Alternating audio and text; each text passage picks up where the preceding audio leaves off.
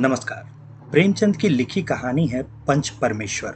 मानसरोवर के सातवें भाग में तो ये आती ही है, साथ ही ये कहानी कई जगह विद्यालयों के पाठ्यक्रम में भी होती है। इसलिए, क्या बिगाड़ के डर से ईमान की बात न कहोगे? कहते ही अलगू चौधरी याद आ जाते हैं। साथ ही ये भी याद आ जाता है कि खाला के कहे इस एक वाक्य ने जुम्मन का साथ देने के बदले ईमानदारी दिखा देने की याद भी उन्हें दिला दी थी। यहाँ अगले ही वाक्य में प्रेमचंद खुद ही कह देते हैं, हमारे सोए हुए धर्म ईमान की सारी संपत्ति लुट जाए तो उसे खबर नहीं होती। परंतु ललकार सुनकर वो सचेत हो जाता है, फिर उसे कोई जीत नहीं सकता। सवाल ये है कि आज ये बिगाड़ से डर से ईमान की बात न कहोगे का बड़ा सा सवाल पूछेगा कौन? इस संदर्भ में भारत के लॉ कमीशन की ओर से बीपी जीवन रेड्डी के द्वारा उस समय के कानून मंत्री रहे जेठमलानी जी को भेजी गई एक रिपोर्ट महत्वपूर्ण हो जाती है। ये चिट्ठी 13 अप्रैल 2000 की है और इसके साथ जुड़ी हुई report prevention of terrorism bill 2000 पर थी। इस रिपोर्ट के तीसरे अध्याय में काफ़ी कुछ ऐसा लिखा है जो महत्वपूर्ण हो जाता है। इसमें कहा गया है कि आतंकवाद खुद में एक ऐसा कृत्य है जिसका उद्देश्य ही आम लोगों में डर फैलाना है। इसकी वजह से अपनी आँखों के सामने हो रहे अत्याचार को देखकर भी वो मूक दर्शक बन जाते वो पुलिस प्रशासन को इस संबंध में कोई सूचना देने से हिचकने लगते हैं और सहयोग करने से बचते हैं। ऐसे मामलों में गवाह नहीं मिलते, क्योंकि लोगों को अपनी खुद की सुरक्षा, अपने परिवारों की सुरक्षा का डर लगा हो। इसके आगे ये रिपोर्ट बताती है कि पंजाब के आतंकवाद के दिनों में जज ऐसे डरे हुए थे कि वो आतंकवादियों के खिलाफ कोई मुकदमा अपनी अदालत में लेना ही नहीं चाहते थे। रिपोर्ट ये भी कहती है कि जम्मू कश्मीर में अभी, यानी अप्रैल 2000 में जब ये रिपोर्ट जमा हुई थी, तब जैसे ही हालात हैं और इसकी वजह से आतंकियों के खिलाफ चल रहे मुकदमों में देरी हो रही है। ऐसे में स्वतंत्र सबूतों या फिर शांति काल जैसी अदालती कार्रवाई का होना व्यवहारिक नहीं लगता। इसी वजह से ऐसे कानून यानी पोटा की ज़रूरत है। ये report prevention of terrorism bill 2000 जो कि पोटा नाम के कानून की तरह लागू हुआ था, उसके बारे में थी और ये न्यायाधीशों के डर की बात कर रहा है। हालिया दौर देखें, तब इस रिपोर्ट में न्यायाधीशों और न्यायिक व्यवस्था में काम करने वालों की जिस डर की बात की गई है, वो विचित्र नहीं लगती। अदालतें जिन मामलों का स्वतः संज्ञान लेती हुई दिखती हैं उन पर एक नज़र डाली जाए तो ये विचित्र सी बात स्पष्ट दिखने लगती है।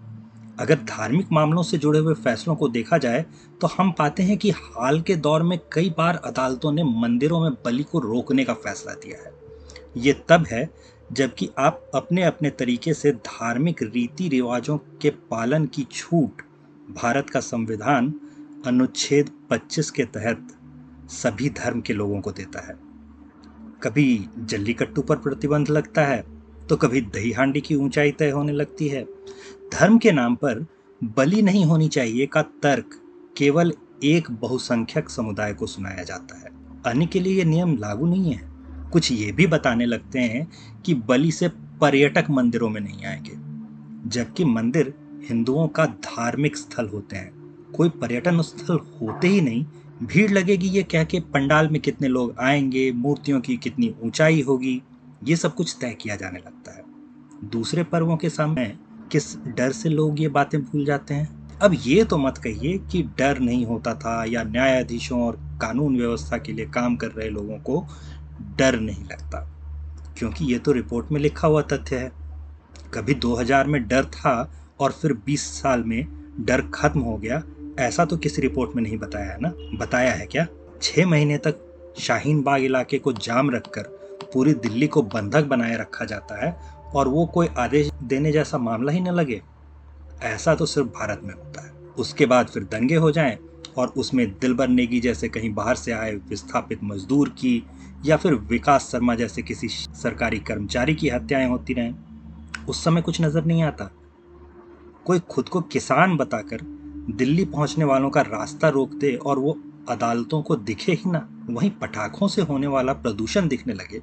लेकिन पराली जलाने जैसे निर्माण से जुड़े जो भी बड़े कारण हैं, वो न दिखें तो क्या सोचा जाए?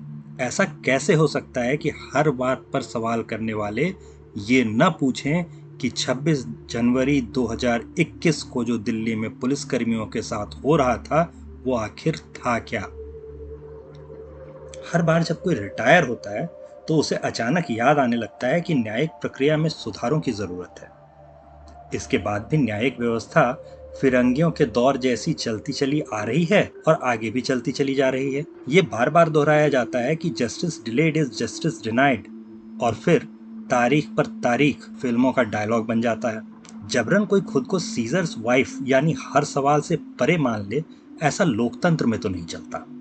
अगर विधायिका से, कार्यपालिका से और पत्रकारिता से भी सवाल किए जा सकते हैं तो न्यायपालिका को सीजर्स वाइफ की तरह सवालों से परे नहीं माना जाना चाहिए। बार बार की ऐसी स्थितियों से उम्मीद है कि नींद खुलेगी।